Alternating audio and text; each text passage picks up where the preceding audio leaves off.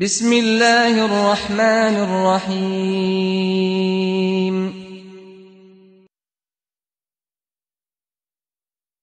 تزهو بك السماوات وتنتشي الأكوان. يا حامل القرآن يا حامل آه. السلام عليكم ورحمة الله وبركاته. الحمد لله الحمد لله نحمده ونصلي على رسوله الكريم أما بعد فأعوذ بالله من الشيطان الرجيم بسم الله الرحمن الرحيم ربي اشرح لي صدري ويسر لي أمري واحلل عقدة من لساني يفقه قولي ربي زدني علما সম্মানিত ইকরা বাংলার দর্শক শ্রোতা মহান রব্বুল আলমিনের অসংখ্য গণিত শুক্রিয়া আদায় করছি যে মহান রব্বুল আলমিন আজকে আমাদেরকে এই অনুষ্ঠানে এসে কথা বলার এবং আপনাদেরকে অনুষ্ঠান দেখার তৌফিক দান করেছেন এই জন্য আমরা সবাই আল্লাহ রব্বুল আলমিনের শুক্রিয়া আদায় করি আলহামদুলিল্লাহ। আলহামদুলিল্লাহ। সম্মানিত দর্শক শ্রোতা আমার দেখতে দেখতে আমাদের সামনে এসে গেছে পবিত্র জিল হাজ্জার মাস যে মাসে আল্লাহ রব্বুল আলমিনের ডাকে অসংখ্য গণিত হজ্জাজিন একরাম হজের পথে রওনা দিয়েছেন। কিছু সংখ্যক চলে গেছেন আর বাদবাকি যারা রয়েছেন অবশ্যই কিছুদিনের ভিতরেই তারা আল্লাহর ঘরের পৌঁছে যাবেন ইনশাআল্লাহ। আমরা দোয়া করি আল্লাহ রব্বুল আলমিনে প্রত্যেক হজ হাজিদের জন্য হজকে কবুল আর মঞ্জুর করেন। আমরা সকলে বলি আমিন। সম্মানিত দর্শক শ্রোতা যারা হজে গিয়েছেন তারা তো অবশ্যই ফজিলত নিয়ে আসবেন কিন্তু যারা আমরা যেতে পারিনি তাদের জন্য তারা কি আল্লাহ রব্বুল আলমিনের নিয়ামত থেকে বঞ্চিত হয়ে গেলেন? না। বরঞ্চ আল্লাহ রব্বুল আলমিন আমাদের জন্য এই মাসের প্রথম দশ দিনে এমন ফজিলত রেখেছেন যা আমাদের জানা অত্যন্ত কর্তব্য এবং জরুরি। সেই হিসাবে আজকে আমরা এই আজকের এই অনুষ্ঠানে আমরা আলোচ্য বিষয় ধার্য করেছি হজের প্রস্তুতি হিসাবে। এই জন্য আপনাদের যে কোনো ধরনের প্রশ্ন এবং মতামত দিয়ে আজকে আমাদের এই অনুষ্ঠানকে সুন্দর এবং সার্থক করবেন এবং আলোচনা শুনবেন, আলোচনা করবেন আমাদের নিয়মিত মেহমান শেখ ফয়েদ আহমদ সাহেব, চেয়ারম্যান মদিনত খৈরিয়াল ইসলামী। আর সমস্ত প্রোগ্রাম জুড়ে আমি মিশ্র হজমান হেলালি আপনাদের সাথে আছি। ইনশাল্লাহ আমরা শেখের আলোচনা শুনি এবং শেখের কাছ থেকে আমরা হজ সংক্রান্ত যে কোনো প্রশ্ন নিয়ে আমরা আসি ইনশাল্লাহ জি শেখ, আসসালামু আলাইকুম। আসসালাম। জি শেখ আজকে আমাদের যেহেতু আমাদের সামনে এসে গেছে পবিত্র হজের মাস সেই হিসাবে হজের প্রস্তুতি হিসাবে অনেক পাই অনেক কিছু শিকার রয়েছে এবং অনেক প্রশ্ন মনের মধ্যে জেগে আছে। তাই আমরা হজের প্রস্তুতি আমরা অনুষ্ঠান এই আলোচ্য বিষয় ধার্য করেছি। ইনশাআল্লাহ আজকের হজের প্রস্তুতি নিয়ে আপনার আলোচনা হবে ইনশাআল্লাহ। আসসালামু আলাইকুম রাহমাতুল্লাহি ওয়া বারাকাতুহু। আলহামদুলিল্লাহ আলহামদুলিল্লাহিল্লাযী জাআলাল বাইতাল আতীক মাসাবাতাল লিন-নাসি ওয়া আমনা وأكرمه بالنسبة إلى نفسه تشريفا وتحسينا ومنا. وأشهد أن لا إله إلا الله وحده لا شريك له. وأشهد أن محمدا عبده ورسوله نبي الرحمة وسيد الأمة صلى الله عليه وعلى آله وأصحابه قادة الحق وسادة الخلق وسلم تسليما كثيرا كثيرا. أما بعد فأعوذ بالله من الشيطان الرجيم. بسم الله الرحمن الرحيم. وأذن في الناس بالحج يأتوك رجالا وعلى كل ضامر يأتين. وعلى كل ضامر يأتين من كل فج عميق. وقال رسول الله صلى الله عليه وسلم تابعوا بين الحج والعمرة فإنهما ينفيان ينفيان الفقر والذنوب. صدق الله المولانا العظيم وصدق رسوله النبي الكريم ونحن على ذلك لمن الشاهدين والشاكرين. والحمد لله رب العالمين. اللهم صل على محمد وعلى آل محمد كما صليت على إبراهيم وعلى آل إبراهيم إنك حميد مجيد اللهم بارك على محمد وعلى آل محمد كما باركت على إبراهيم وعلى آل إبراهيم إنك حميد مجيد সম্মানিত দর্শক শ্রোতা আলোচনা শুরুতেই আল্লাহ রব্বুল আলমিনের লাখো কোটি শুক্রিয়া আদায় করছি এবং দুরুদ সালাম পেশ করছি নবী মোহাম্মদ রসুল্লাহ সাল্লাহ আসলামের প্রতি। আপনাদেরকে আন্তরিক মুবারকবাদ জানিয়ে নিয়মিত আয়োজন নুরুল কোরআনে হজের প্রস্তুতি বিষয়ের উপরে কথা বলার ইচ্ছা ইচ্ছা পোষণ করলাম। আল্লাহ পাক যেন তৌফিক দান করেন ওমা তৌফিক ইল্লা বিল্লাহ। অনেকের প্রশ্ন দীর্ঘদিন যাবত যে হজে যাবেন, হজের ব্যাপারে কিছু আলোচনা করার জন্য। ইনশাআল্লাহ আজকে শুরু করলাম চারটি পর্বে ন্যূনতম।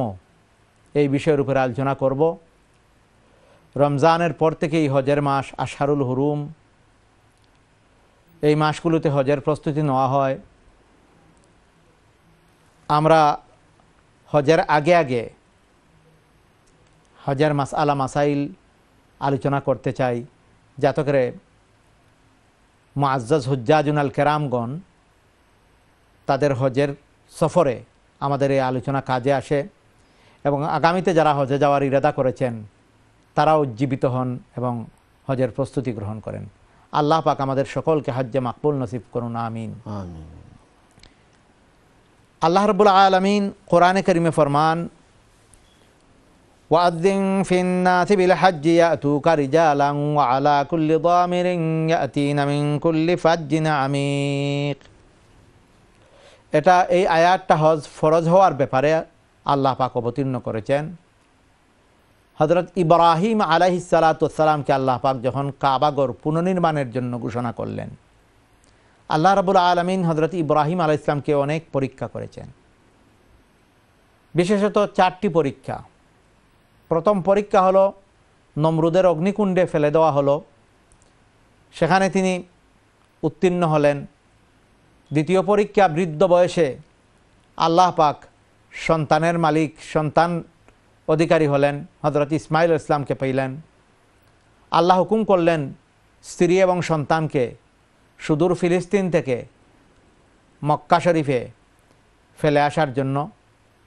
তিনি সেই পরীক্ষা উত্তীর্ণ হলেন। আল্লাহর হুকুমে সেখানে রেখে আসলেন। তৃতীয় পরীক্ষা হলো, সন্তান যখন একটু ফুটফুটে, একটু আট, সাত, আট বৎসরের, আল্লাহ পাক হুকুম করলেন, তোমার সন্তানকে আমার রাহে কুরবানি করো। এই পরীক্ষায় উত্তীর্ণ হলেন।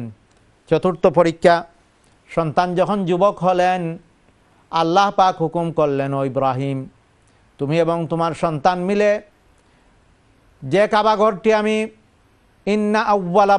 উজিয়ালিন নাস লাল্লাদি আলামিন পৃথিবীর সর্বপ্রথম ঘর যেটা আউ্বালা বাইত উদি নাস যে ঘরটি তৈরি করা হয়েছে মানুষের কল্যাণের জন্য।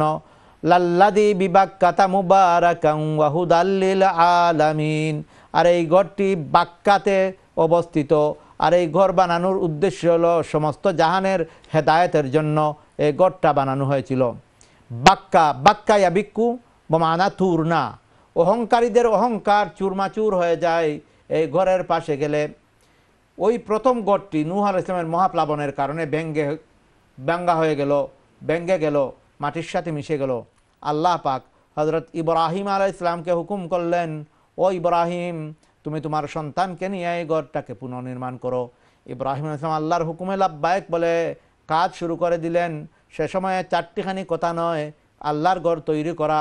সে সময় পাথরের ব্যবস্থা ছিল না, সিমেন্টের ব্যবস্থা ছিল না। উইলস বা চৌকাম, লিফট এ ধরনের কোনো ব্যবস্থা ছিল না। আল্লাহ পাকের হুকুমকে তামির করে নিলেন, হুকুমকে মেনে নিলেন ইব্রাহিম আলাই সালাতাম সন্তানকে নিয়ে ঘর বানানো শুরু করে দিলেন। আল্লাহ পাকও তাকে পাস করে দিলেন, জান্নাত থেকে পাথর পাঠালেন। মাকামে ইব্রাহিম মাকামি ইব্রাহিম মুসাল্লা। মাকামে ইব্রাহিম যেটা, এই পাথরটা পাঠালেন। এখানে দাঁড়িয়ে ইব্রাহিম আল ইসলাম উপরে উঠার যখন প্রয়োজন হতো, উপরে পাথরটা উঠে যেত, নিচে নামার যখন প্রয়োজন হতো, কোনো সুইচ টিপতে হতো না, পাথরটা নিচে নেমে যেত। পাথরটাও শক্ত থাকতো না। ইব্রাহিম ইসলাম যখন পাথরের গায়ে পা রাখতেন ওই পাথরটা নরম হয়ে যেত যার কারণে ইব্রাহিম ইসলামের পায়ের দাগ এখন পর্যন্ত পাথরের মধ্যে রয়েছে। সুবাহান আল্লাহ আল্লাহ পাক সাহায্য দেওয়া শুরু করে দিলেন। ওই যে চারটি পরীক্ষা বড় বড় হলো আরও অনেক পরীক্ষা হয়েছে। সব সবকটি পরীক্ষায় উত্তীর্ণ হলেন। আল্লাহ পাক ঘোষণা দিলেন ইব্রাহিম তুমি তো সবকটি পরীক্ষায় পাস করলে আমি তোমাকে গিফট দিতে চাই পুরস্কৃত করতে চাই। তুমি কি চাও আমার কাছে বলো? ইব্রাহিম আলাইসালাম আল্লাহ পাকের কাছে চাইলেন, রব্বানা ওয়াবাস ফিহিম রাসূলাম মিনহুম রাসূলাম মিনহুম ইয়াতুলু আলাইহিম আয়াতিক, ইয়াতুলু আলাইহিম আয়াতিকা ওয়া ইউআল্লিমুহুমুল কিতাব, ওয়া ইউআল্লিমুহুমুল কিতাব ওয়াল হিকমাতা ওয়া ইউযাক্কিহিম। চারটি পরীক্ষায় আমি উত্তীর্ণ হয়েছি, আপনি আমাকে গিফট দেবেন। আল্লাহ তুমি আমাকে চার গুণওয়ালা একজন নবী পাঠাবে পৃথিবীতে ওয়াদা করেছ। ওই নবী আমার বংশধরে দিয়ে দাও। সুবাহান ইয়াতুলু আলাইহিম আয়াতিক যিনি আপনার আয়াতের তিলাওত করবেন। ওয়াইউ আল্লি মহমুল কিতাব এই কিতাবের শিক্ষা দিবেন মানুষকে। ওয়াল হিকমা এই কিতাব থেকে হিকমাত মাস আলা মাসাইল খুলে খুলে মানুষকে বলবেন। ওয়াইজাক কিহিম যিনি নিজে পবিত্র থাকবেন আর অন্যান্য অপবিত্র আত্মাদেরকে পবিত্র করবেন। এই চার গুণওয়ালা নবী আমার বংশধরে দিয়ে দাও সুবাহান আল্লাহ আল্লাহ পাক ইব্রাহিম ইসলামের দোয়াকে কবুল করলেন আর দীর্ঘ আড়াই হাজার বছর পর ইব্রাহিম ইসলামের সন্তান ইসমাইল আলাহি সাল্লাতামের বংশধরের মধ্যে নবী মোহাম্মদ রসুল্লাহ সাল্লাহ ইসলামকে পাঠালেন। ইসমাইল ইসলামের বংশধরের ভিতরে আর কোনো সন্তান আদি হয় নাই, আর কোনো নবী আসেন নাই ইসমাইল ইসলামের বংশধরের ভিতরে। একমাত্র নবী মোহাম্মদুর রসুল্লাহ সাল্লাহ ইসলাম এই পৃথিবীতে এসেছেন। অথচ হজরত ইব্রাহিম আলাহ ইসলামের দ্বিতীয় সন্তান হজরত ইসহাক আলাহি সালাতামের গর্বত ঔরস থেকে হাজার হাজার পয়গাম্বর বনি ইসরাইল, হাজার হাজার পয়গাম্বর পৃথিবীতে এসেছেন। কিন্তু আল্লাহ পাক রিজার্ভ রেখেছেন হজরত ইসমাইল ইসলামের বংশধরকে আর হজরত ইসমাইল ইসলামের বংশধরে নবী মোহাম্মদ রসুল্লাহ ইসলাম এসেছেন। ইব্রাহিম ইসলামের এই দোয়ার তুফাইলে সুবাহান আল্লাহ সুবাহান আল্লাহ যাক, আমি সেদিকে যাচ্ছি না। হজ এমন একটি আবাদত যে আবাদত জানি এবং মালি আবাদত যে আবাদত যান খরচ করা হয়, মাল খরচ করা হয় যে আবাদতের জন্য। যাদের উপর হজ ফরজ হয়, ষাটটি শর্ত যাদের মধ্যে পাওয়া যায়, তাদের উপরেই হজ ফরজ হয়। আর এই ষাটটি শর্ত না পাওয়া গেলে হজ ফরজ হয় না বিদায়। ষাটটি শর্তের মধ্যে অন্যতম শর্ত হলো শারীরিক সুস্থতা থাকতে হবে আর অর্থনৈতিক সচ্ছলতা থাকতে হবে।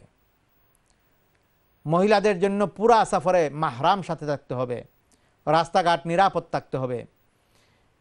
এই যে শারীরিক সুস্থতা এবং অর্থনৈতিক সচ্ছলতা, এটা হজ ফরজ হওয়ার জন্য গুরুত্বপূর্ণ একটা শর্ত।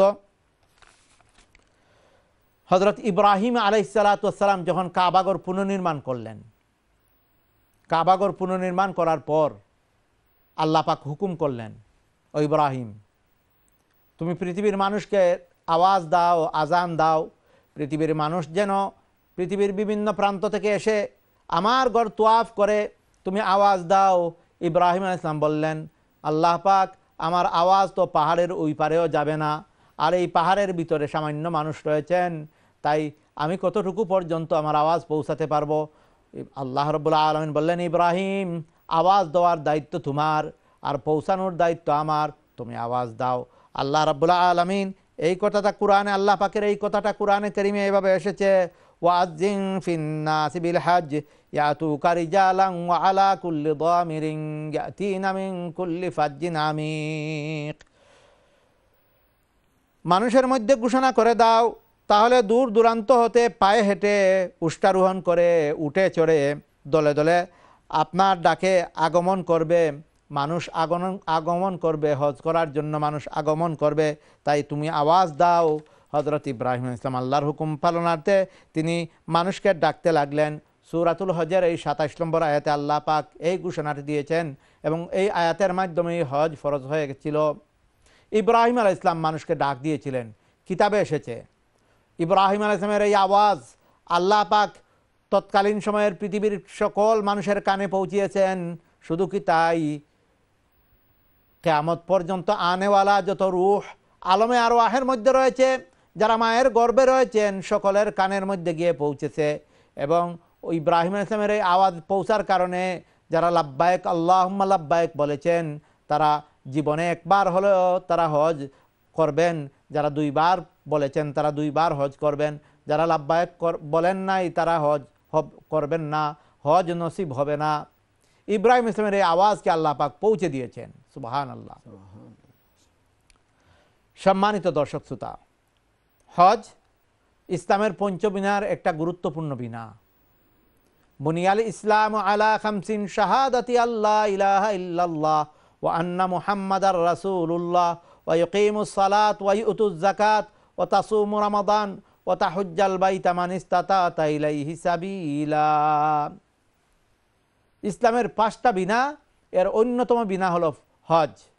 এই হজ, এর সাথে দুইটা এবাদত সম্পর্কযুক্ত। অন্যান্য যত এবাদত দেখবেন বিনা, কলিমা, এর সাথে টাকা পয়সাও খরচ হয় না। এর জন্য শারীরিক কোনো কষ্টও হয় না। লা ইলাহা মোহাম্মদ রসুল্লাহ বলতে শারীরিকও কোনো কষ্ট হয় না অর্থনৈতিকও কোনো কষ্ট নাই। নামাজ, এখানে শারীরিক কিছু কষ্ট হয়, একটু সময় ব্যয় করতে হয়। রোজা, এখানে শারীরিক কষ্ট হয় টাকা পয়সা খরচ হয় না।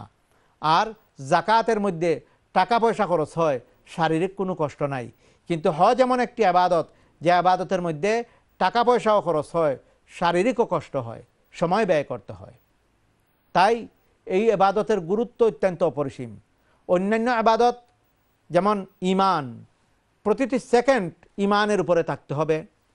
নামাজ, ডেইলি পাঁচবার নামাজ আদায় করতে হবে। রোজা, বৎসরে একটা মাস রোজা রাখতে হবে। জাকাত যাদের সম্পদ রয়েছে বছরে একবার টু অ্যান্ড হাফ পার্সেন্ট জাকাত দিতে হবে। আর হজ, এমন একটা আবাদত সমস্ত জীবনে একবার যাদের সম্পদ রয়েছে এবং ষাটটি শর্ত যাদের উপরে পাওয়া যায়, তাদের উপরে হজ ফরজ। এই গুরুত্বপূর্ণ আবাদত যেহেতু বৎসর জীবনে একবার ফরজ, এর সাথে সংশ্লিষ্ট মাস, আলা মাসাইল অনেক। তাই এই সফরটা একজন জাননেওয়ালা হক্কানি ওলামায় কেরামের সাথে সফরটা করা বাঞ্ছনীয়, প্রয়োজন। শুধু ফাইভ স্টার আছে কিনা, ভালো সার্ভিস আছে কিনা এগুলো না দেখে সর্বপ্রথম দেখবেন যে ওই প্যাকেজে ভালো কোনো আলেম, তাকওয়া, পরহেজগার কোনো আলেম আছে কিনা, আছেন কিনা। বাকিগুলাও দেখা দরকার, কিন্তু সর্বাগ্রে এই জিনিস দেখা দরকার, এই সফরে আমি কার সাথে সফর করছি? এই সফরে আমার সঙ্গে ওলামায় কেরাম কে আছেন? তাই হজের প্রস্তুতির জন্য সর্বাগ্রে ডিসিশন নেওয়ার ক্ষেত্রে যে আমি কোন আলেমের সাথে হজ করতেছি, এই ব্যাপারটা সর্বাগ্রে দেখবেন। এরপরে হলো যে ট্রাভেলসের ভিসা আনার মতো যোগ্যতা আছে কিনা, লাইসেন্স আছে কিনা, তাদের সব কাগজপত্র আছে কিনা ওনারা কি আপনাকে লাস্ট মুভমেন্টে সর্বশেষে এসে আপনাকে লেট ডাউন করবেন কিনা, ভিসা লাগবে কিনা, এই জিনিসটা দেখা দরকার। এরপরে হোটেল দেখবেন যে হোটেলটা নিকটে কিনা, পাঁচ অক্ত নামাজ আদায় করতে পারবেন কিনা, যে অনেকের হোটেল অনেক দূরে থাকে, পায়ে হেঁটে এসে নামাজ ধরা যায় না এই সময়ে ট্যাক্সিও পাওয়া যায় না যানজটের কারণে। তাই পাঁচ অক্ত নামাজ আমি পড়তে পারব কিনা? জীবনে একবার গেলাম, আমি যদি হোটেলে নামাজ আদায় করতে হয়, অথবা দুই তিন মাইল দূরে থাকলাম লোকাল ওই এলাকার মসজিদে পড়তে হয়, তাহলে হজের সফরটার যে মজা, যে আত্মতৃপ্তি, সেটা নষ্ট হয়ে যায়। এই জিনিসগুলা দেখবেন, এরপরে খাবার দাবারের ব্যাপারটাও রয়ে যায়, থাকার ব্যাপারটা পর্দা পুশিদার ব্যাপারটা রয়ে যায়, সেই ব্যাপারগুলো দেখবেন। শুধু ফাইভ স্টার দেখলেন ফাইভ স্টারের মধ্যেও বিভিন্ন অসুবিধা থাকে। যেমন বিশতলা তিরিশতলা চল্লিশতলা হোটেলও রয়েছে। সেই হোটেলে থাকলেন আপনি, কিন্তু লিফটের নামাজের সময় লিফট পাওয়া যায় না। আপনি নিচে নামতে পারবেন না। ওই, এই সময় এক ঘণ্টা, দেড় ঘণ্টা লাগে। যেভাবে তিন মাইল দূরে থাকলে যে কষ্ট, ওই ফাইভ স্টার হোটেলের তিরিশ তলায় থাকলেও একই কষ্ট। নামাজের সময় নামা যায় না। তখন কি করতে হয়? ওই হোটেলের ভিতরে নামাজ আদায় করতে হয়। এই ব্যাপারগুলো দেখবেন এবং হজের আগে সব থেকে বড় যে জিনিস হজের আগে তাওবান করতে হবে। প্রস্তুতির মধ্যে অন্যতম প্রস্তুতি, সর্বাগ্রে যে প্রস্তুতি, যে এত পয়সা খরচ করে, এত মূল্যবান সময় থেকে সময় ব্যয় করে গেলাম, জীবনে আর যেতে পারব কি না? হজে যাওয়ার আগে আগে সমস্ত জীবনের গুণাহাতার জন্য আল্লাহ পাকের কাছে তওবা করে এমনভাবে প্রস্তুতি গ্রহণ করা যে আমি কাফনের কাপড় পরব, এহরামের কাপড় পরব, মনে হবে যেন আমি মৃত্যুবরণ করেছি। মরার সময় যেভাবে খালি হাতে যেতে হয় আল্লাহর দরবারে, একইভাবে কাবা ঘরে যখন দাঁড়াবো, আমি এমনভাবে খালি হাতে যাব, আমার কাছে কোনো গুণাহাতা থাকবে না। সব গুণাহাতা থেকে তো অবা করে, বেনামাজিরা, বেনামাজি নামাজ পড়ার ওয়াদা করে, নামাজ শুরু করে দিয়ে, বেরোজাদারেরা তওবা করে, রোজা শুরু করে দিয়ে, সুদকুরেরা সুদ ছেড়ে দিয়ে এবং মদকুরেরা মদ ছেড়ে দিয়ে মৃত্যুকেরা মিথ্যা ছেড়ে দিয়ে, সব গুণার জন্য তওবা করে আল্লাহর কাছে পাকসাপ হয়ে যদি হজের সফরে রওনা করতে পারেন তাহলে হজ মকবুল হয়ে যাবে। অন্যতায় হজ কবুল হবে না। তাই সর্বাগ্রে হজে যাওয়ার আগে প্রস্তুতি গ্রহণের অন্যতম ব্যাপার হলো তওবা করে হজে যেতে হবে, যাতে হজ থেকে আসে আর কোনো গুণার সাথে শরিক না হন। আল্লাহ পাক আমাদেরকে হজে যাওয়ার আগে আগে প্রস্তুতি গ্রহণ করার তৌফিক দান করুন। আমিন। যে আমাদের ছোট্ট একটি বিরতিতে যেতে হচ্ছে ইনশাআল্লাহ আপনার মূল্যবান আলোচনা শুনবো ইনশাআল্লাহ ইনশাআল্লাহ জাযাক সম্মানিত দর্শক শ্রোতা আমরা এতক্ষণ হজরত শেখ ফয়েদ আহমদ সাহেবের মূল্যবান আলোচনা শুনলাম হজের প্রস্তুতি হিসাবে আমরা ছোট্ট একটি বিরতিতে যাচ্ছি বিরতির পর আবারও আসছি এর ভিতর দিয়ে আপনারা সুন্দর সুন্দর প্রশ্ন নিয়ে রেডি থাকুন ইনশাআল্লাহ আমরা আবারও আপনাদের সাথে আসছি আসসালামু আলাইকুম রহমতুল্লাহ বারকাত تزهو بك السماوات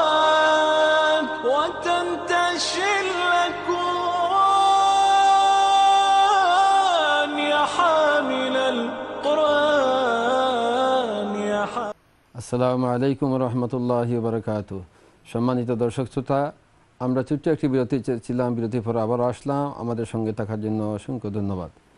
আমরা আলোচনা করছিলাম হজের প্রস্তুতি নিয়ে। আলোচনা করছিলেন শেখ ফয়েদ আহমদ সাহেব। আমরা তাহার কাছে মূল্যবান আলোচনা শুনছি এবং এখনও শুনব ইনশাআল্লাহ। আপনাদের যে কোনো ধরনের প্রশ্ন নিয়ে আসুন। ইনশাআল্লাহ শেখ আপনাদের এই প্রশ্নের আনসার দেবেন ইনশাআল্লাহ। সম্মানিত দর্শক শ্রোতা আমরা হজের প্রস্তুতি এই বিষয়ের উপর আলোচনা করছিলাম।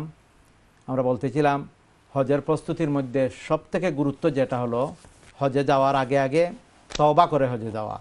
তবা কোন কোন গুণা থেকে? সকল প্রকার কবিরা সগিরা গুণা থেকে তওবা করা। হকুল্লাহ এবং হাক্কুল ইবাদ, সেগুলো আদায়ের মাধ্যমে তওবা করা। কেউ যদি আমার কাছে টাকা পয়সা পায়, অথবা কাউকে আমি কষ্ট দিয়ে থাকি, তার কাছে মাফি নেওয়া, কারোর কোনো হক তাকে, সেই হক আদায় করার মাধ্যমে তার কাছ থেকে মাফি নেওয়া এবং আল্লাহর হক যেগুলো আল্লাহ পাক হুকুম করেছেন, সেই হুকুম আকাম মানার মাধ্যমে এবং তার নাফরমানি পরিত্যাগ করার মাধ্যমে আল্লাহ পাকের কাছে তওবা করা। আর তওবা করে এরপরে হজের জন্য প্রস্তুতি গ্রহণ করা। আমি যে আয়াতে করিমা আপনাদের সামনে কয়েকটি আয়াত তিলাওয়াত করেছি।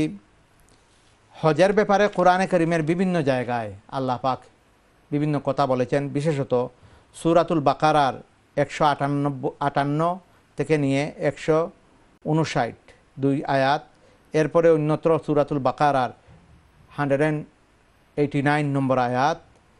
এরপরে অন্যত্র সুরাতুল বাকারার hundred and ninety six, hundred and ninety seven থেকে নিয়ে টু হান্ড্রেড অ্যান্ড থ্রি পর্যন্ত। টু হান্ড্রেড অ্যান্ড থ্রি এই আয়াতটাও হজের উপরে। এরপরে সুরাতুল Imran, ninety seven ninety six ninety seven number আয়াত সুরাতুল মায়েদার এক এবং দুই নম্বর আয়াত। এরপরে হলো সুরাতুল মায়েদার চুরানব্বই থেকে সাতানব্বই নম্বর আয়াত সুরাতুল হজের ছাব্বিশ থেকে সাঁত্রিশ পর্যন্ত। এভাবে কোরআনে করিমের বিভিন্ন জায়গায় আল্লাহ পাক হজ সম্পর্কে বলেছেন। জি শেখ আমরা শুনব আমাদের সাথে কোলা রয়েছেন ইনশাআল্লাহ। হ্যালো কোলা আসসালামু আলাইকুম রহমতুল্লাহ আসসালামু আলাইকুম ওয়ালাইকুম সালাম আমি একটা নামর আহ, অর্থ চাইছিলাম জানতাম আর কি আমি নামটা রাখ ভালোই বনি রাখলে আর কি রাখতাম আসলাম তানহা নামের অর্থটা। আমরা এই সমস্ত প্রোগ্রামের নামের অর্থ বলি না আপনি নামের জন্য আহ, অন্য মোবাইলের মধ্যে ফোন করবেন। কোনো প্রশ্ন থাকলে আপনি কৌকা প্লিজ হজ সংক্রান্ত কোনো প্রশ্ন থাকলে হোক ইনশাআল্লাহ নাম আচ্ছা, এই মুহূর্তে আমার ইয়ে আচ্ছা ইনশাআল্লাহ। ওকে জাজাকাল্লাহ খায়ের আমরা নেক্সট করে যাই হ্যালো কোলা আসসালামু আলাইকুম রহমতুল্লাহ হ্যাঁ। হ্যালো আসসালামু আলাইকুম ওয়ালাইকুম সালাম রহমতুল্লাহ জি ভাই আহ, আমি একটা প্রশ্ন করতাম চাইছিলাম আপনার জি খুকা হজ যাইবার সময় ভলিউম ডাউন কর হ্যালো আসসালামু জি আলাইকুম জি শুনিয়া খুকা হজ যাইবার সময় আমি নিয়তটা দিলাগা গড় থেকে আমি হারাম বান্ধিয়া যদি যাইতে আমি উমরার নিয়ত করি বাড়াইতে আমি না হজর নিয়ত করি আমি যাওয়া লাগবো।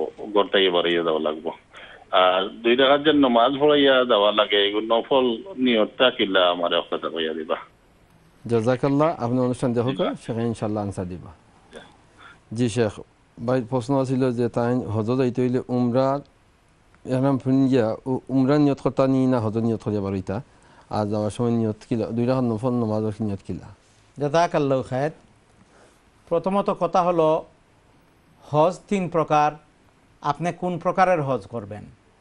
হজ্জে ইফরাদ হজ্জে তামাত্তু, হজ্জে কিরান। সাধারণত আমরা হজ্জে তামাত্তু করে থাকি। হজ্জে তামাত্তু যদি করেন আপনি নব্বই পার্সেন্ট লোক হজ্জে তামাত্তু করেন। হজ্জে তামাত্তু করলে গড় থেকে উমরার নিয়ত করে বের হতে হয়। উমরা শেষ করে গিয়ে আপনি হালাল হয়ে যান। এরপরে হজের মৌসুমে যেমন নয় তারিখ হলো হজ, সাত তারিখ অথবা আট তারিখে এহরাম বেদে মিনাতে যাওয়ার মাধ্যমে হজের নিয়ত করা হয়। এই কারণে পাট পাট হয়, উমরা প্রথমে, এরপরে হজ। তো আমার মনে হয় আপনি হজ্জে তামাত্তুই করবেন। হজ্জে তামাত্তু করলে আপনি এহরাম ঘর থেকে বাঁধেন এয়ারপোর্ট থেকে বাঁধেন অথবা প্লেনের মধ্যখানে বাঁধেন এই তিন জায়গা থেকে যে কোনো এক জায়গায় বাঁধতে পারবেন। কোনো অবস্থা- অবস্থায় উইদাউট এহরাম আপনি মিকাত পের হতে পারবেন না। জিদ্দা এয়ারপোর্টে গিয়ে ল্যান্ড করতে পারবেন না। কারণ before Jeddah airport fifty mile before মিকাত, আপনি প্লেন থেকে জিদ্দা এয়ারপোর্টে নামলেই মিকাত পাস হয়ে গেলেন, আপনার উপরে দম ওয়াজিব হয়ে যাবে।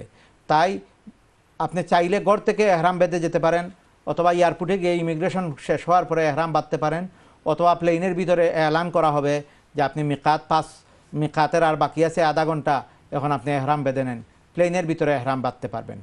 সব অবস্থায়, তিন অবস্থায় আপনার এহরাম বাঁধার জন্য, পুরুষদের জন্য দুইটা সাদা কাপড় পরতে হবে। শরীরে আর কোনো কাপড় থাকতে পারবে না। মহিলাদের নর্মাল ড্রেস থাকলেই হবে এবং ওই সময়ে আপনি নিয়ত করতে হবে আল্লাহ মাইনি উরিদুল উমরাতা ফায়াসির হুলি ও তাকাব্বাল হুমিন্নি আল্লাহ, আমি উমরার নিয়ত করলাম, আমি, তুমি আমার জন্য এটাকে ইজি করে দাও এবং তুমি কবুল করো। এরপরে বলেই লাব্বায়ক আল্লাহ লাব্বায়ক লাব্বায়ক আলা শরিক আলাক লাব্বায়ক ইন্নাল হামদা ওয়ান নিয়ামাত আলাকা ওয়াল মুলক, লা শরিক আলাক তালবিয়া পড়া শুরু করে দিতে হবে। অর্থাৎ এখানে আপনার তিনটা জিনিসের মাধ্যমে আপনার নিয়তটা হয়ে গেল। প্রথমে হইল আপনার দুইটা কাপড় পরার মাধ্যমে, দুই নম্বর হলো আপনার নিয়তের মাধ্যমে। ইন্টেনশন বাংলা হোক আর ইংলিশে হোক আর আরবিতেই হোক ইন্টেনশনের মাধ্যমে। তিন নম্বর হলো আপনার তালবিয়া পড়ার মাধ্যমে। এই তিনটা জিনিসের মাধ্যমে আপনার নিয়ত শুরু হয়ে গেল।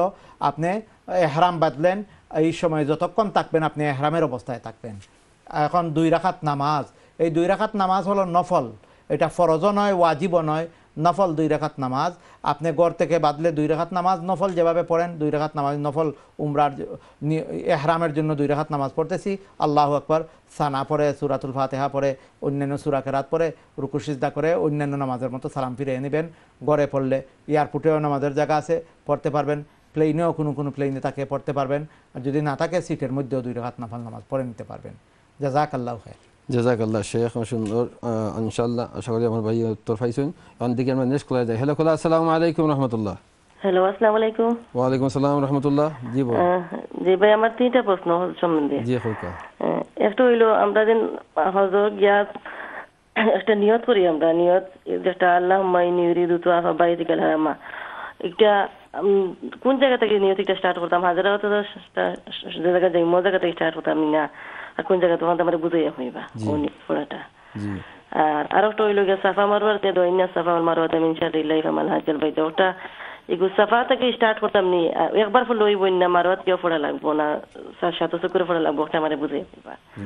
ও ওটা তো বুঝতাম চাইছিলাম। ও দুইটা প্রশ্ন আচ্ছা। জি আর একটা নমাজ সম্বন্ধে একটা প্রশ্ন জিজ্ঞাসা করতাম পারব জি জি নমাজ সম্বন্ধে হইল আমরা নমাজও নিয়ত করিয়া নিয়ত করার বাদে নিয়ত জাতু পড়ি তো এগু নমাজ সব রাখা তো নিয়ত জাতু ওটা পড়তাম শূন্যত ফর্দ নফরলো না একবার নিয়ত করিয়া হলে ইন্না জাতু পড়লে ওই ওটা আমার দ্বারা বুঝাইয়া হইবা জি আপনি অনুষ্ঠান দেখো কা শেখ আনসার দিবা ইনশাআল্লাহ জি শেখ বনি তিনটা প্রশ্ন হলে এক নম্বর প্রশ্ন হলো যে যে তোয়াফর নিয়তটা কিলা করতা দুই নম্বর হইলে সফাত যে নিয়ত করছেন সফাতও করতানি মারুয়াতও করতানি আর তিন নম্বর হইলে সব নমাজও ইনিয়ে যাতে ফোড়া লাগবে নি জাজাক আল্লাহ খায়ের প্রথম যে দোয়াটা হজের, এই দোয়াটা ফরজ ও আজীব কোনো কিছু নয়। হজের একমাত্র একটা দোয়া, যেটা হইল ফরজ।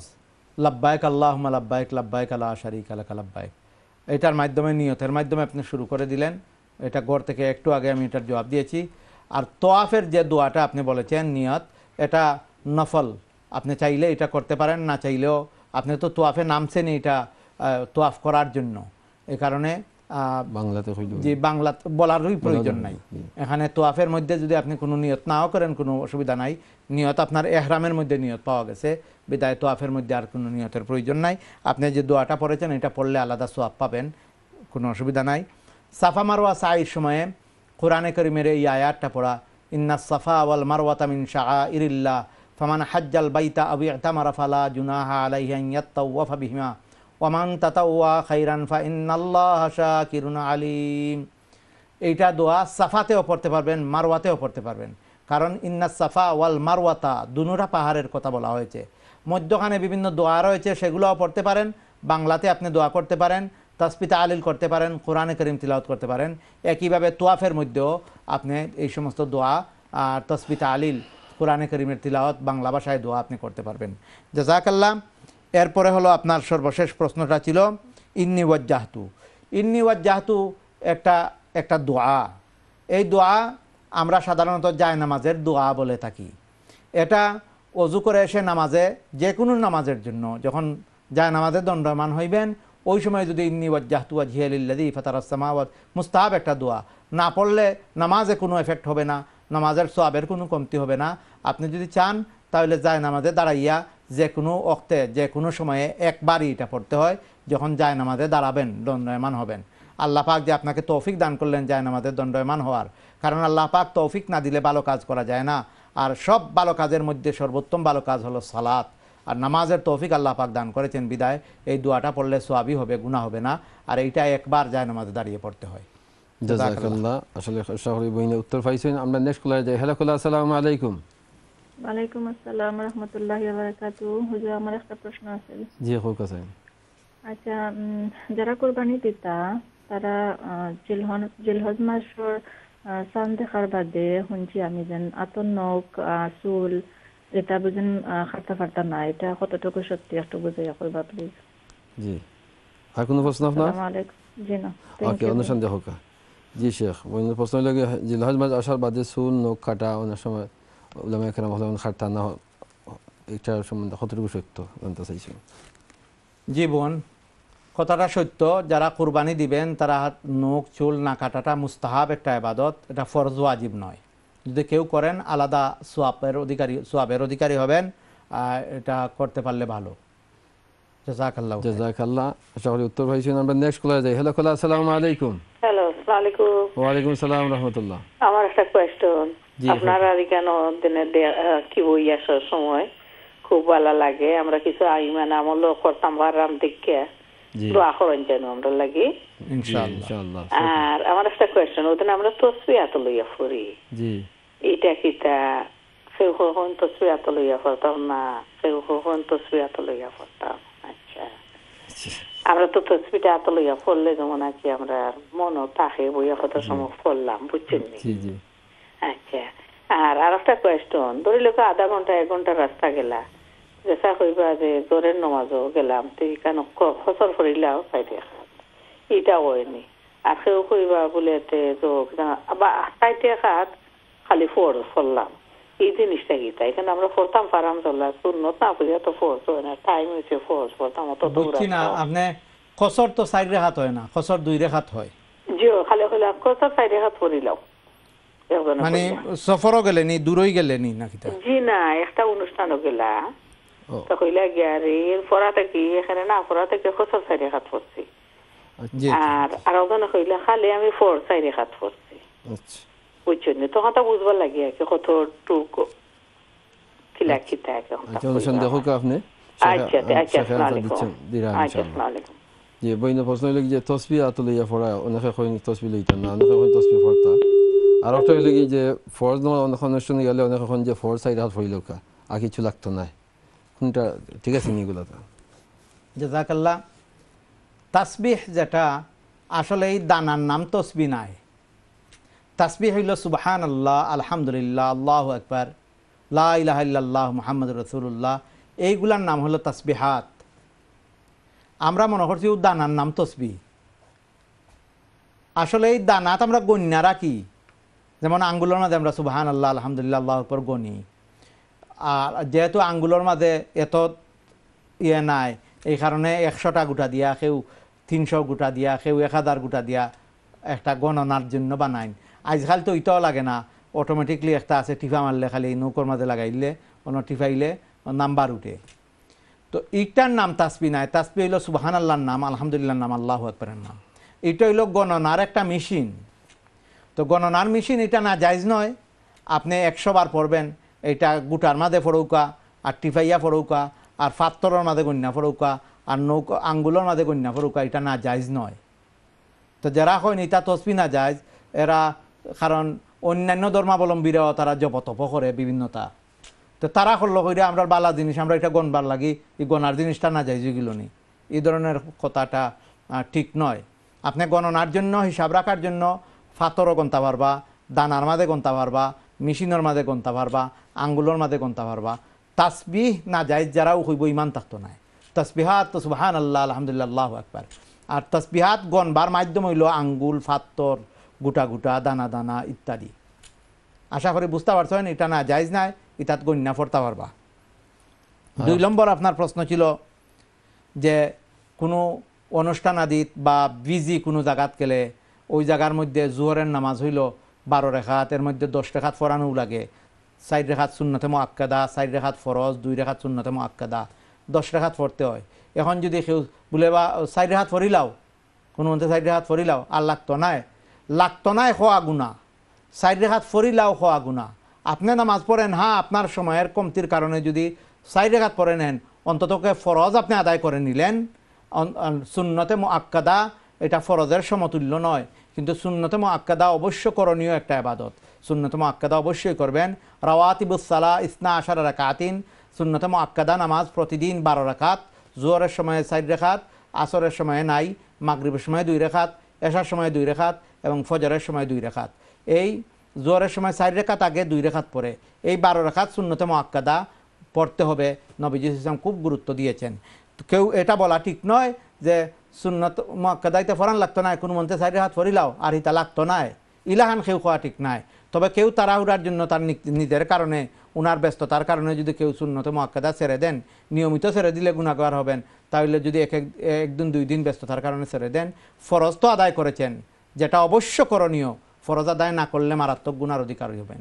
শূন্যতে মক্কাদাও পালন করতে হবে আর ব্যস্ততার কারণে কোনো দিন ছেড়ে দিলে, আল্লাহ পাকের কাছে ইস্তেকবার করলে আল্লাহ পাক মাফ করে দিবেন ইনশাআল্লাহ।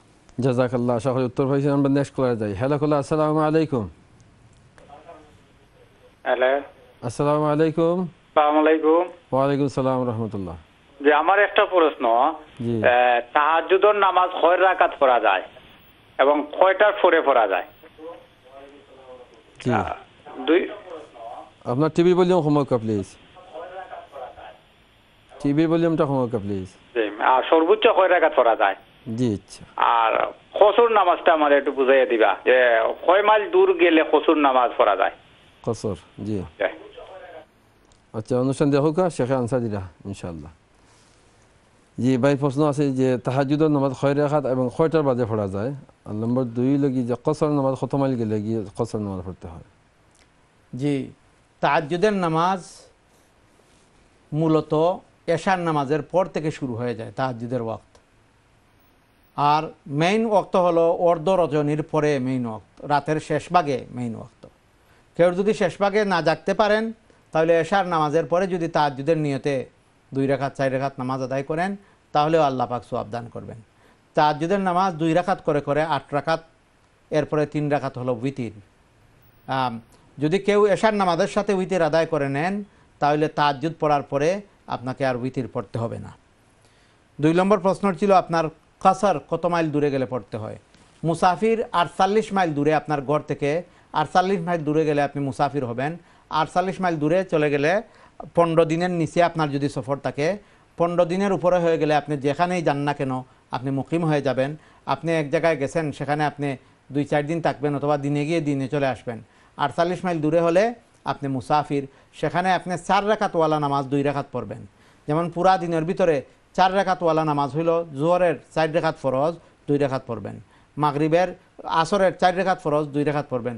মাগরিবের তিন রেখাত ফরজ, তিন রেখাতি পড়বেন। এশার চার রেখাত ফরজ, দুই রেখাত পড়বেন। উইতির তিন রেখাত, তিন রেখাতি পড়বেন। ফজরের চার রেখাত, দুই রেখাত সুন্নত, দুই রেখাত ফরজ, দুই রেখাত ফরজ, দুই রেখাতি পড়বেন। অর্থাৎ চার রেখাতওয়ালা নামাজকে আপনি হাফ পড়বেন। বাকি শূন্যতে আক্কাদা বলেন, গায়রে আক্কাদা বলেন, সেগুলো অপশনাল আপনি চাইলে পড়তে পারেন, না চাইলে, না পড়লে কোনো গুণা হবে না। জাজাকাল্লাহ খায় জাজাকাল্লাহ শেখ আমাদের সাথে অনেক প্রচুর রয়েছে কোলা রয়েছেন কিন্তু আমাদের একটা বিরতিতে যেতে হচ্ছে ইনশাআল্লাহ আমরা বিরতির পর আবার আসছি সম্মানিত দর্শক শ্রোতা আমরা ছোট্ট একটি বিরতিতে যেতে হচ্ছে বিরতির পর আবারও আসবো আপনাদের আমাদের সঙ্গেই থাকুন আসসালামু আলাইকুম রহমতুল্লাহি বারকাত تزهو بك السماوات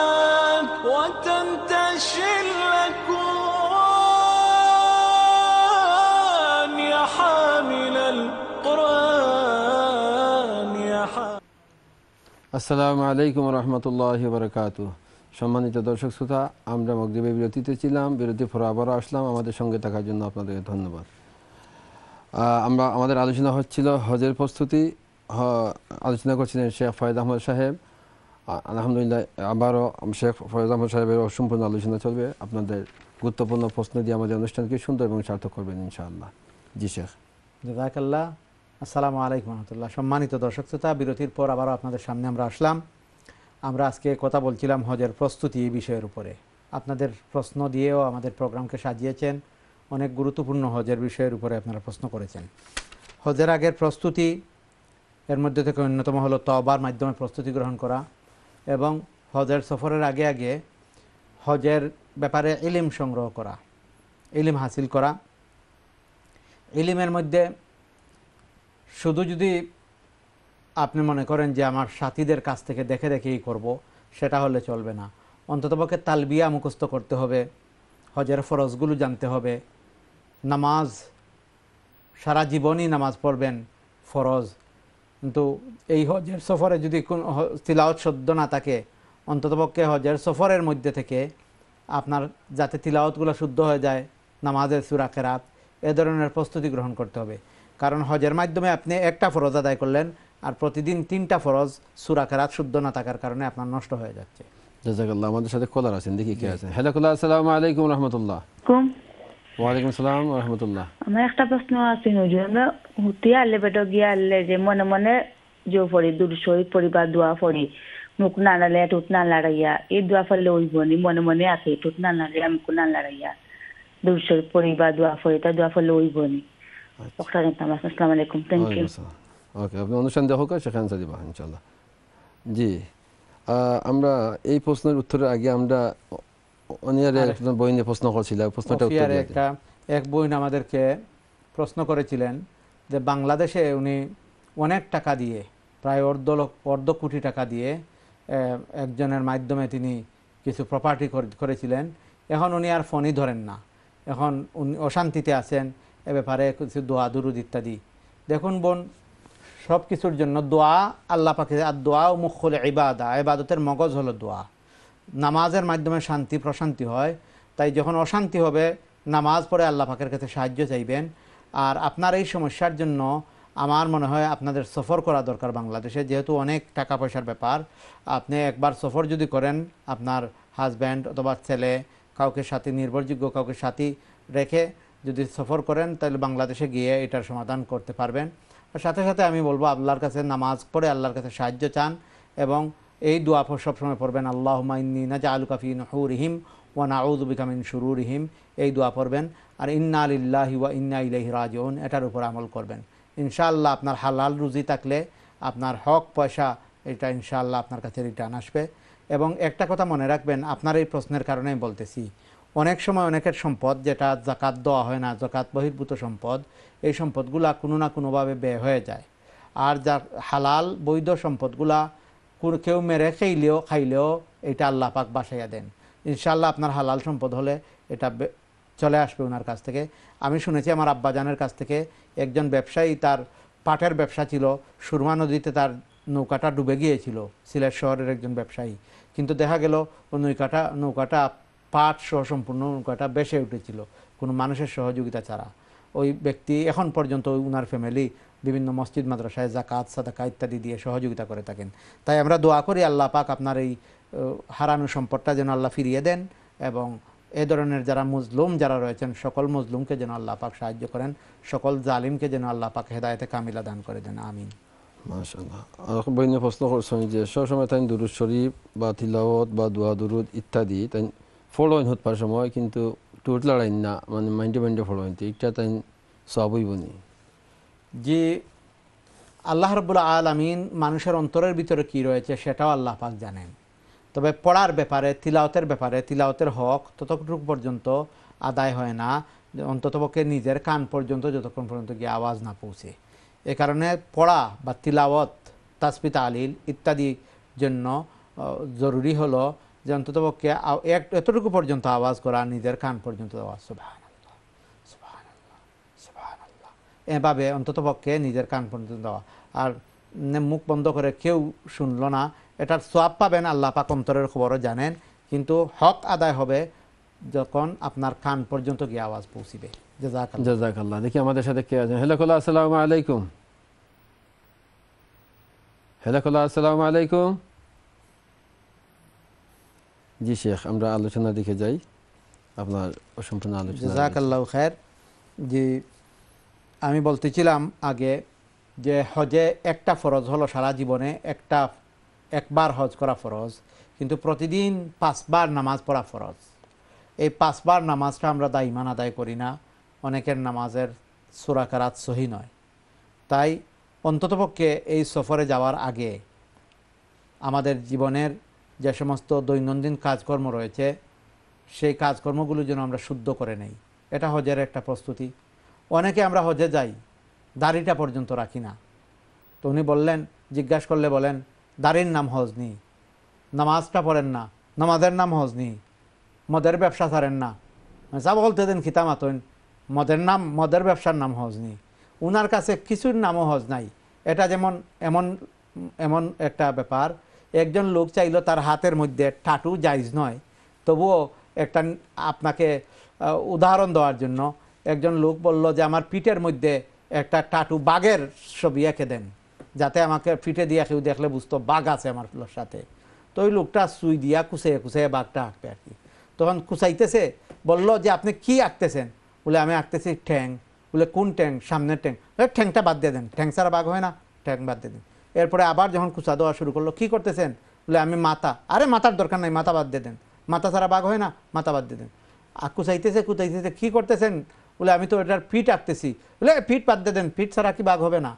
আরও আর একবার কুচানো শুরু করছে আরে, কি করতেছেন? পেট। পেট ছাড়া কি বাঘ হয় না? পেট বাদ দিয়ে দেন। এভাবে বাদ দিতে দিতে সব বাদ দিয়ে দিল। তাহলে ওর পিঠের মধ্যে কি আঁকা হবে? কিছুই তো না। মাথা আঁকতে দিল না, পা আঁকতে দিল না, পেট আঁকতে দিল না, পিঠ আঁকতে দিল না। যে লোক হজে যাওয়ার পরে বলল যে দাড়ির নাম কি হজ নামাজের নাম কি হজ হ্যাঁ হালালের নাম কি হজ সব কিছুই যদি হ- হজ করার জন্য যে তার সব গুণাখাতাই সাথে থেকে গেল তাহলে ওই হজটা কবুল হবে কীভাবে? তাই ভাই বন্ধুরা মা বোনেরা হজে যাওয়ার আগে আগে তুবু ইলাল্লাহি তাওবাতান নাসুহা তবায় নাসুহা করার মাধ্যমে হজে যেতে হবে। জাজাকাল্লাহ খায়ের দ্বিতীয় কথা হলো হজের সাথে সংশ্লিষ্ট মাস আলা মাসাইলগুলো জানা। এবং মানুষের হক, কেউ যদি আপনার কাছে টাকা পয়সা পান, সেই হকগুলো আদায় করে নেওয়া। আল্লাহর হক তো আদায় করলেন এবাদতের মাধ্যমে, তওবা করার মাধ্যমে। মানুষের হক। এখন মানুষের, কেউ আপনার কাছে টাকা পান, ওই টাকাটা আদায় করার মাধ্যমে কাউকে আপনি মুখ দিয়ে কষ্ট দিয়েছেন, তার কাছ থেকে মাফি নেওয়ার মাধ্যমে তার হকটা আদায় করে নিতে হবে। ভাই বন্ধু, ভাই বেরাতরের হক রয়েছে, স্ত্রী সন্তানের হক রয়েছে সেই হকগুলো আদায় করার মাধ্যমে। পরিবারের হক, আপনি ঘরে যাদেরকে রেখে যাচ্ছেন আপনার অধীনস্থ, সকলের খানি কুরাক বন্দোবস্ত করার মাধ্যমে তাদের হক আদায় করার মাধ্যমে আপনি হজে যা, হজে রোয়ানা দিতে হবে। হজে যাওয়ার আগে আগে জানতে হবে আপনাকে কি করতেছেন, কোথায় যাচ্ছেন। আহমিয়ত মক্কা মদিনার গুরুত্ব আপনাকে অনুধাবন করতে হবে। এমনও মানুষ আমরা দেখি যে মক্কা শরীফে গিয়ে তার এই জায়গার গুরুত্ব অনুধাবন করেন না। দেশ থেকে যেভাবে চলাফেরা করেছেন দেশে, একইভাবে সেখানে গিয়ে চলাফেরা করেন। শরীরে কাপড় থাকে না, নাভি খোলা থাকে, শরীর খোলা থাকে সিক্রেট টানতে থাকেন, হেরমের চত্বরে বসে গল্প গুজব করতে থাকেন, আড্ডা দিতে থাকেন। আর নামাজ সেখানে, দেশে থাকতেও ছিল না, সেখানে গিয়ে নামাজ পড়েন না। মনে করেন শুধু হজটা, ওই গড়টা তোয়াফ করলেই কামিয়াবি হয়ে গেল। আর ওখানে গিয়েও নামাজ পড়েন না, আড্ডা দিতে থাকেন। আশ্চর্য হয় তাদের জন্য, আফসোস হয় তাদের জন্য। দিক তাদের এই সমস্ত কর্মকাণ্ড। আমরা ধিক্কার জানাই, তাই প্রস্তুতি গ্রহণ করতে হবে। হজের মাসালা মাসাইলগুলোও জেনে নিতে হবে। হজ হলো তিন ধরনের, তিন প্রকার হজ। হজ্জে কিরান, হজ্জে তামাত্তু, হজ্জে ইফরাদ। এই তিন ধরনের হজ রয়েছে। সাধারণত আমরা হজ্জে তামাত্তু করে থাকি। হজ্জে তামাত্তু বিস্তারিত আমি অন্য পর্বে আপনাদের সামনে তুলে ধরব। হজের ফরজ হলো তিনটি। এহরাম বাদা। এহরাম বাদা হজের ফরজ। এহরামের সাথে কিন্তু সংশ্লিষ্ট আরও তিনটি কাজ রয়েছে। কাপড় পরা নিয়ত করা তালবিয়া পড়া বাকি ফরজগুলো বলব ইনশাআল্লাহ মনে হয় কলার আছে। জি আমরা একজন কলার আছেন দেখি কে আছেন হ্যালো কলা আসসালামু আলাইকুম। আসসালামু আলাইকুম। ওয়ালাইকুম আসসালাম রহমতুল্লাহ। আমার একটা প্রশ্ন হুজুর। আমি নামাজ পড়ি না নিয়ে কোরআন শরীফ পড়ি। আজ বাইরে চিন্তা সবসময় মাথা তাই গুর ফাঁকায় খালি। নামাজে মন বইতাম পারি না। নামাজের দোয়া করে দিন আলে নামাজে ভাই মন দিতা। বাট নামাজে মন বয় না সবসময় ইতা আসতে চিন্তা ইয়া মাথাত খালি জিও করে। কোরআন শরীফ বাদ বলে সময় একটু লাগে কোনো দোয়া আছে একটু তা কইবা আর দুই নম্বর প্রশ্ন হইল গিয়ে আমি কোরআন শরীফ খতম করি হারলে লাস্টে যে লাস্ট পৃষ্ঠা যে থাকে কোরআন নাস কুলা বি ফালাক পড়ি হারলে খতম করা বাদে লাস্টে যে ইগু ফড়া লাগে শেষে পৃষ্ঠা যে থাকে এটা ফড়া লাগে নি? না ফলে খতম হইব সপ্তাহ নাইবা প্লিজ ফালাক নাস। ফালাক নাস নি এর বাদে যে দোয়ার কথা কইরা জি ইনশাল্লাহ আপনার অনুষ্ঠান দেখো কা সেখানে আনসার দিরা ইনশাল্লাহ বন্য প্রশ্ন হইলে কি যে নমাজের মাঝে অনেক সময় তার আজে বাজে চিন্তা ইয়ে বা তিলাওত ইয়ে হারলে এই একটা প্রশ্ন নম্বর দুই হইল কি যে নমাজের কোরআন শরীফ তিলাওতর শেষে গিয়ে একটা দোয়া আছে এই দোয়াটা পড়া কিন্তু তিলাওতর অংশ নিনা না জাজাক আল্লাহ খের কোরআনে করিম যেহেতু আল্লাহর কালাম ভালো কাজের মধ্যে শয়তানের ওয়াসওয়াসা থাকবেই স্বাভাবিক শয়তান আমাদের পিছনে আসেই তাই কোরআন তিলাওতে বসলে শয়তান ওয়াসওয়াসা দিবে, নামাজে দাঁড়ালে শয়তান ওয়াসওয়াসা দিবে। প্রতিটি ওয়াসওয়াসার সময়ে যদি আপনি মনটা ঘুরিয়ে নিয়ে আসেন, তাহলে এক একটা আপনি কুরবানির সোয়াব বা শাহাদতের সোয়াব আল্লাহ পাক দান করবেন। সুবাহান আল্লাহ তাই যতবার আপনার মন ঘুরে যাবে, আজে বাজে জিনিস আসবে, সেগুলোর থেকে মনটা ফিরিয়ে নিয়ে আসবেন, আল্লাহ পাক আপনাকে সোয়াব দান করবেন। নামাজেই হোক আর কোরআন তিলাওতেই হোক। এ কারণে গাবড়াবার কোনো প্রয়োজন নাই। তিলাওত অব্যাহত রাখুন। আর ইস্তেকফার বেশি বেশি করে পড়বেন। আস্তাফিরুল্লাহ পড়লে ইস্তেকফার পড়লে আল্লাহ পাক শয়তানকে বাগিয়ে দিবেন। লা হাওলা কুয়াতা ইল্লা বিল্লাহ পড়বেন।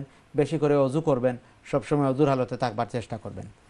খতমে, খতম, কোরআনে করিমের সর্বশেষ সুরা সুরাতুল ফালাক সুরাতুল নাস।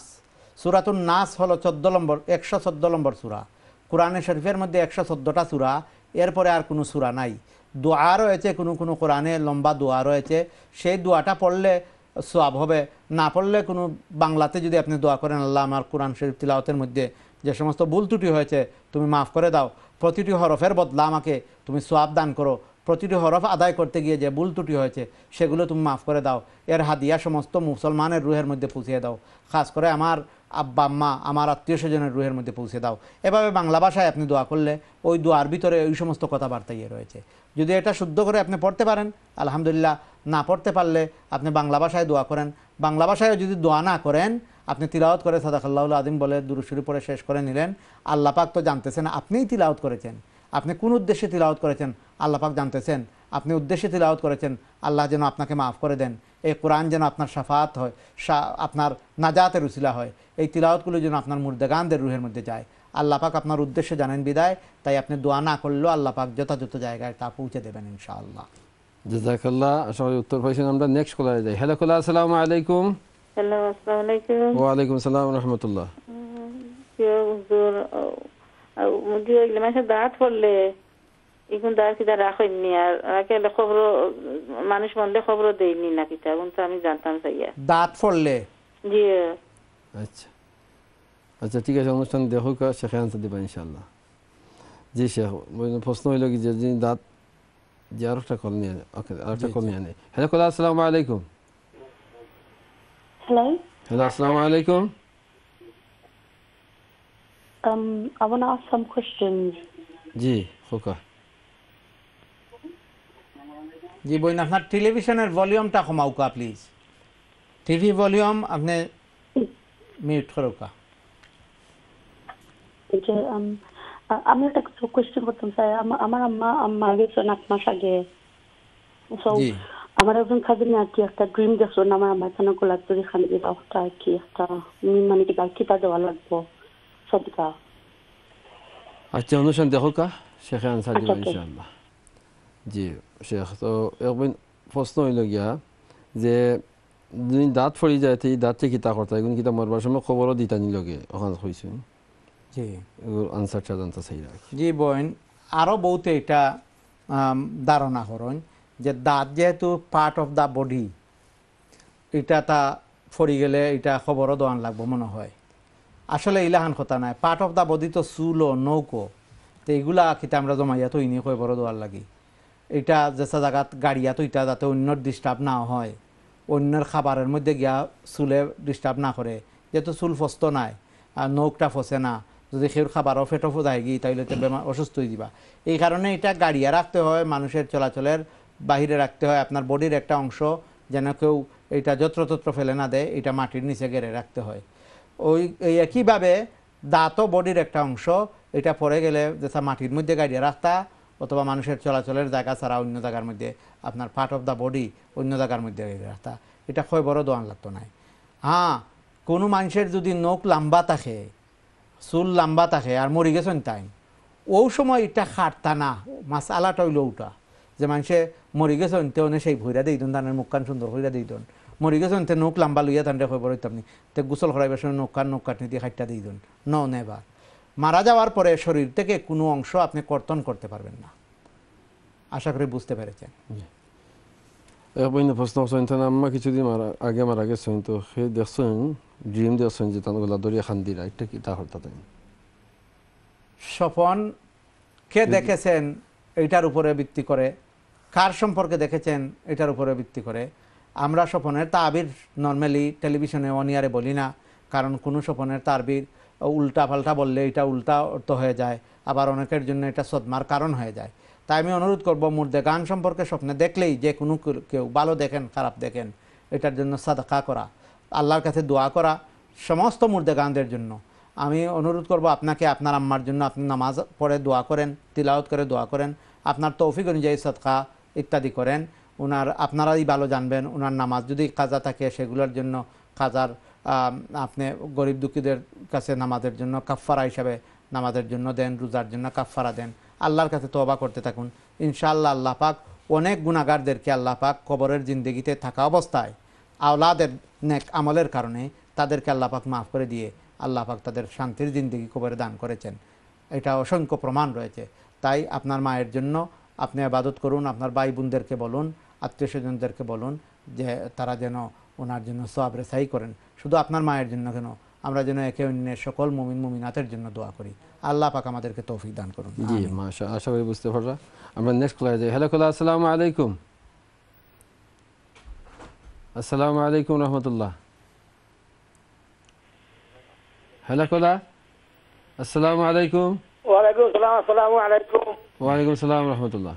আচ্ছা হুজুর আপনার একটা প্রশ্ন করতাম। জি হুকা।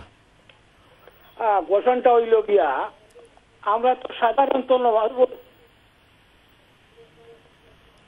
জি হুকা। হুজুর আমরা তো নমাজ পড়ি মনে করো একটা ধারণা দিলাম যে আরাম তারা হইতে ইলা বা যে যে ইন্না ওলা পড়িয়া যায়। ছোট চূড়া মানে আগে পড়ইন না বড় চূড়া আগে পড়ইন। ওটা তা আপনি জানতাম।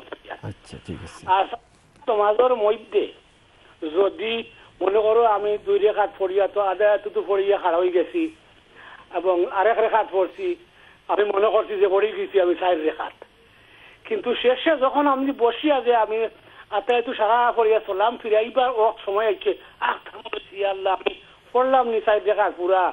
না পড়লাম না তো এমত অবস্থায় আমি কিতা করতাম? ওটা তো আমারে কইবা। আচ্ছা ঠিক আছে। অনুষ্ঠান দেখতে তো হোকা শেখে আনসার দিবা ইনশাল্লাহ বাইর প্রশ্ন প্রথম প্রশ্ন হইল গিয়া যে লম্বা নমাজ শুরু করলে লম্বা সুরা আগে হইতো না বাট্টি সুরা আগে হইতো? আর নম্বর দুই কি যে নমাজের শেষ প্রান্তে গিয়া হঠাৎ দিন তার মনের মধ্যে আইছে যে চারি হাত ফললাম না তিন হাত ফললাম অমতা অবস্থা কিতা করতে যায়? জাজাকাল্লাহ নামাজের মধ্যে সুরার সিরিয়াল মেনটেন করা সিরিয়ালটা হবে যে নামাজও আপনি আসুন, মনে করুক আপনি জুয়রের সাইড রেখা সুন্নত পড়রা ওই সাইড রেখাতের ভিতরে প্রথমে বড় সুরা পড়বা বাদে ছোটো সুরা দেমা। আলাম তারা আলী ইলাফি আড়াইতাল্লা দিন না তাই না এখন আপনি পরের সাইড রেখাত ফরজ পড়তেছেন। সেই সাইড রেখাতে যদি আপনি সিরিয়াল মেনটেন করার দরকার নাই এর পরের সাইড রেখাতে আপনি যখন পড়বেন, ওখানে মানে ফরজের মধ্যে আপনি সিরিয়াল মেনটেন করবেন প্রথম রেখাতে আপনি কুলিয়াল কাফিরুন, বাদের রেখাতে কুলহুয়াল্লাহ পড়তে পারবেন। ওইখানে আপনি আবার আলামতারার উপরে যেতে হবে না।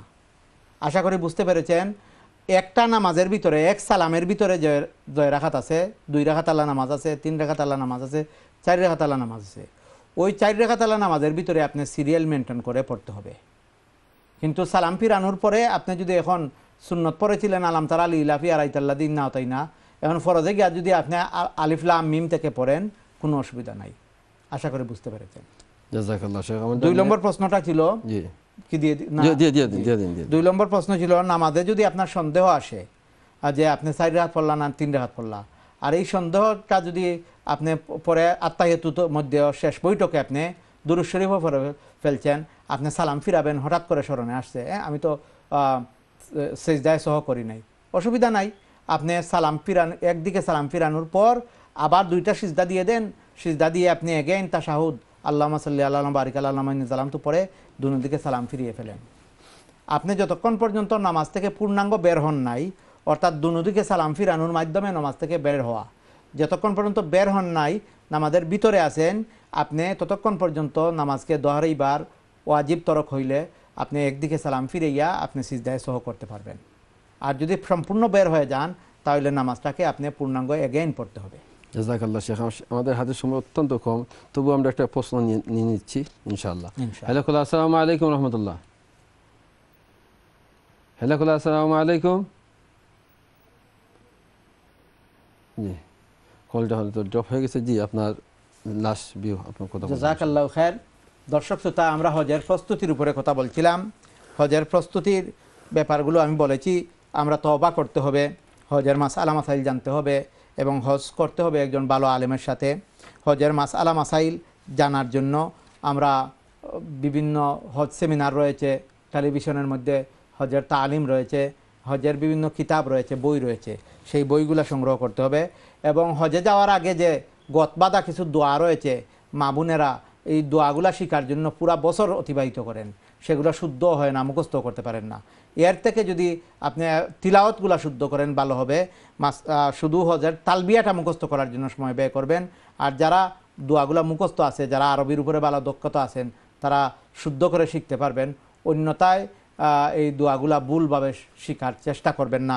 শুধু মাস আলা মাসাইলগুলো শিখবার চেষ্টা করবেন। তো জাকাল্লাহ ইনশাআল্লাহ আমরা আরও তিন পর্বে হজের উপরে আলোচনা করব। আমাদের সাথে থাকবেন আগামী প্রোগ্রাম দেখার অগ্রিম আমন্ত্রণ জানাচ্ছি। আল্লাহ পাক আমাদের কথাবার্তাকে কবুল করুন, আমিন।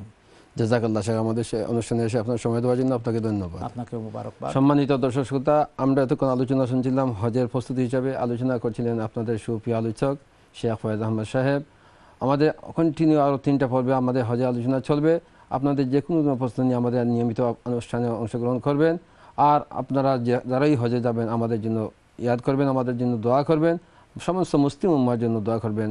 আজকের মতো এখানেই আপনাদের কাছ থেকে আমি বিদায় নিচ্ছি আসসালামু আলাইকুম রাহমাতুল্লাহি ওয়া বারাকাতুহু